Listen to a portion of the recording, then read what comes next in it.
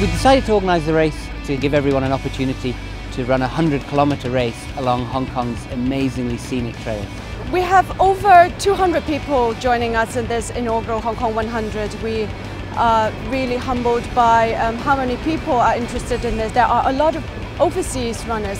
Vibram's a real you know, outdoor brand that understands this kind of thing. They make the best soles that, that are going, so they were an obvious choice in terms of supporting us with you know, a trail running event and an outdoor event.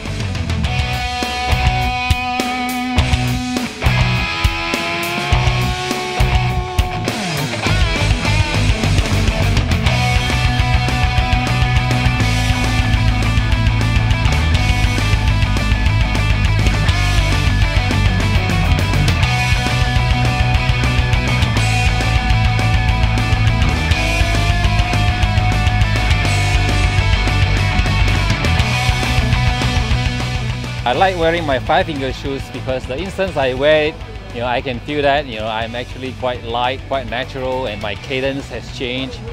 Not, not so much impact on my calf and, uh, and my knee.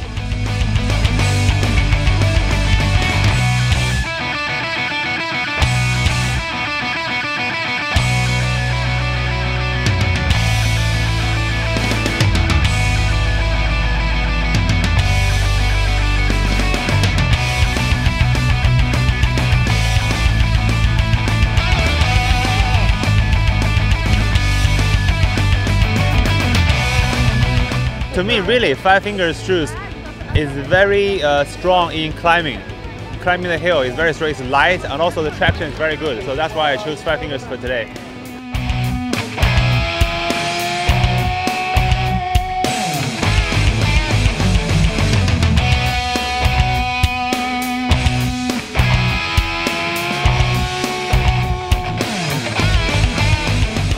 I'm, I'm looking forward to complete the whole uh, course in Vibram. These are actually Vibram uh, Finger KSO uh, Trek.